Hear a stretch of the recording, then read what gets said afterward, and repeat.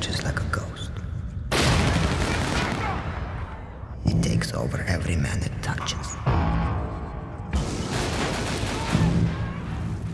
Its thirst cannot be quenched until the last man standing has fallen.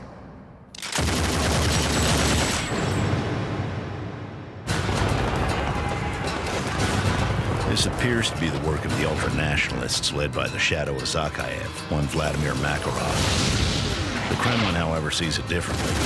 The Prime Minister has pledged full support to aid in any way possible. Zakhaev kept Makarov in check, but no longer.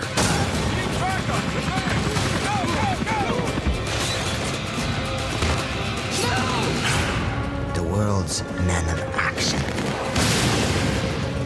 will wonder how it came to this. He's got a contact in Rio. Don't you have a guy on the inside? He's gone silent. Makarov's reach is spreading. This can only end one way. You may be able to destroy me. But the beast will eventually come for you.